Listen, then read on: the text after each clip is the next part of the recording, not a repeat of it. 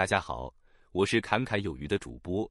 在我开始之前，记得订阅本频道，打开小铃铛，这样我发表新内容时，你才能获得最新的节目通知。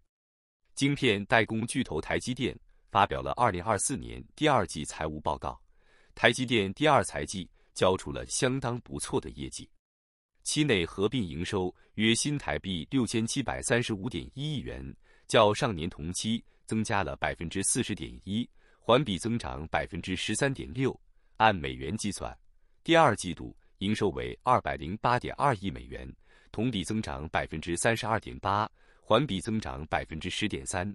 第二季度净利润为新台币两千四百七十八点五亿元，较上年同期增长了百分之三十六点三，环比一季度增长了百分之九点九，预期为新台币两千三百五十亿元台币。二零二四年第二季毛利率为百分之五十三点二，环比提升百分之零点一，预期为百分之五十二点六。台积电第二季财务指标营收、毛利率与营业利润率皆优于公司预期，也大致符合业界预期。台积电公布第三季业绩指引，营收为二百二十四亿美元至二百三十二亿美元，相较今年第二季。二百零八点二亿美元营收增增长百分之七点六至百分之十一点四，中间值为百分之九点五。按照台积电目标，单季美元营收将挑战历史新高。今年全年的业绩增长幅度将介于百分之二十四至百分之二十六之间。台积电在上次法说会中评估认为，今年业绩成长幅度在百分之二十一至百分之二十六之间。这次法说会则进一步缩小区间，落在预测的上限。台积电对半导体行业全年展望与之前一致，预期二零二四年全球半导体市场将增长约百分之十。台积电将继续专注先进封装制程，并预计今年市占率将持续增加。财务报告还显示，第二季度先进制程方面，即包含七纳米。及更先进制程的营收达到全季晶圆销售金额的百分之六十七，较今年第一季度百分之六十五提升两个百分点。其中，三纳米出货占销售额的百分之十五，今年第一季度三纳米占比为百分之九；五纳米制程出货占百分之三十五，一季度占比为百分之三十七；七纳米制程出货百分之十七。一季度占比为百分之十九。台积电财务长黄仁昭解释称，台积电第二季三纳米强劲抵消智慧型手机季节因素，HPC 高效能运算营收环比增长百分之二十八，营收贡献超过智慧型手机，智慧型手机营收占比百分之三十三，库存周转天数下降，主要在三纳米出货成长。台积电董事长。季总裁魏哲嘉在法说会上表示，台积电持续投资先进制程，并支持客户需求，让他们成功。客户成功，台积电才会成功。乐见过去数年来台积电的客户成功，领先的节点持续在本地生产，并紧密和客户合作共享价值。相信这些策略会让台积电持续健康成长。黄仁昭提到。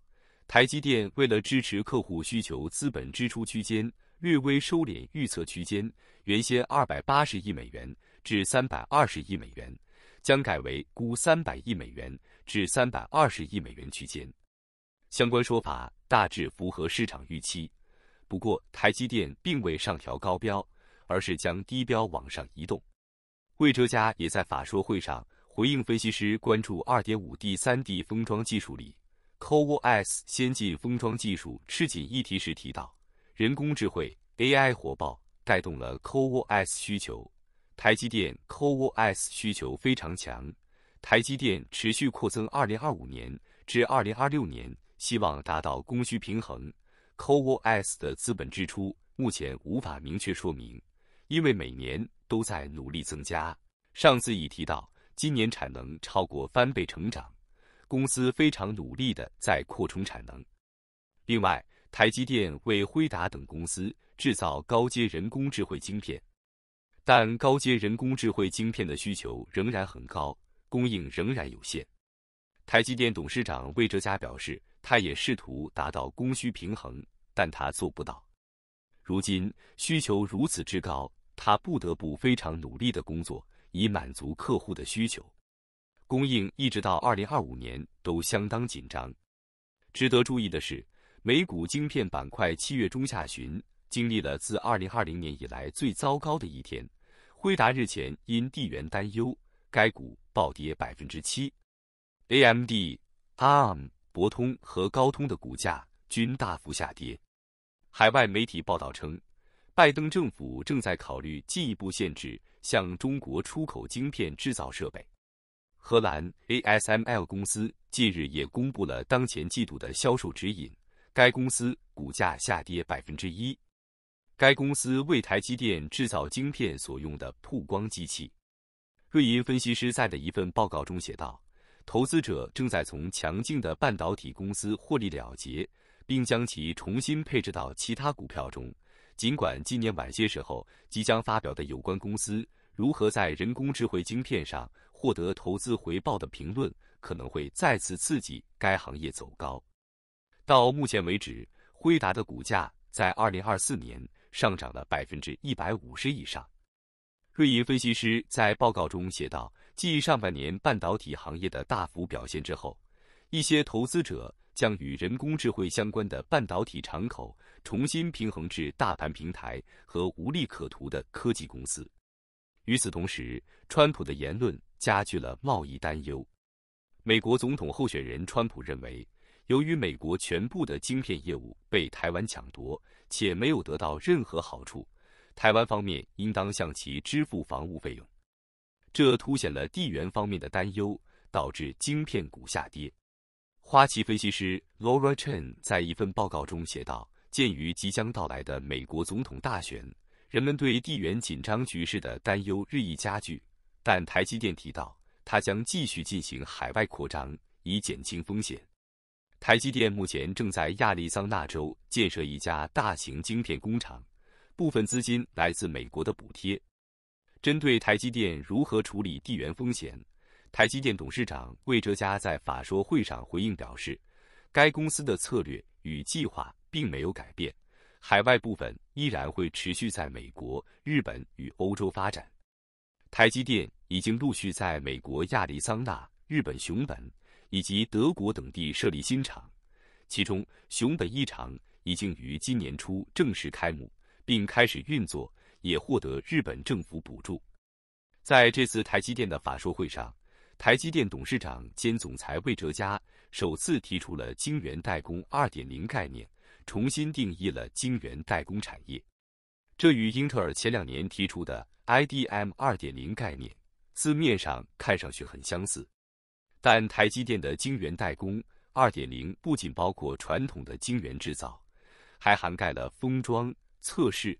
光照制作等环节，以及所有除记忆体晶片外的整合元件制造商 （IDM）。新定义下，台积电对应的市场规模翻一番。二零二三年，晶圆代工行业的规模约为一千一百五十亿美元，新定义下则接近两千五百亿美元。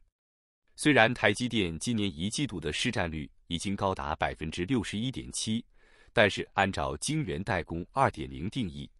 台积电自己计算，二零二三年晶圆代工业务市占率仅为百分之二十八。魏哲嘉还表示，在新的定义下，预计二零二四年晶圆代工产业规模将继续增长百分之十。